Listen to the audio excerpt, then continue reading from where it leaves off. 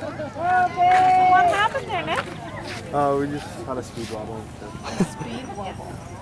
Went too fast, eh? Yeah. All four of these are. The, there's three club chairs and that's one. Uh, Yeah, That's Conrad and Nigel, right? I'm not even sure, man. I don't know who's in what lane. together. Yeah, it looks like Conrad and Nigel by a lot. No, but look at Angus and uh, Emmett. No, Conrad and Nigel. Yeah.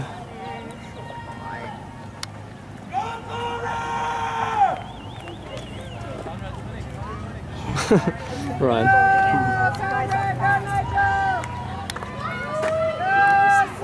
Conrad and Nice. Yeah. And Sam.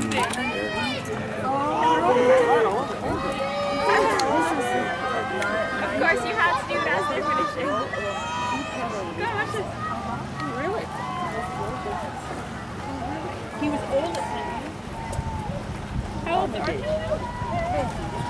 Yeah. Alright.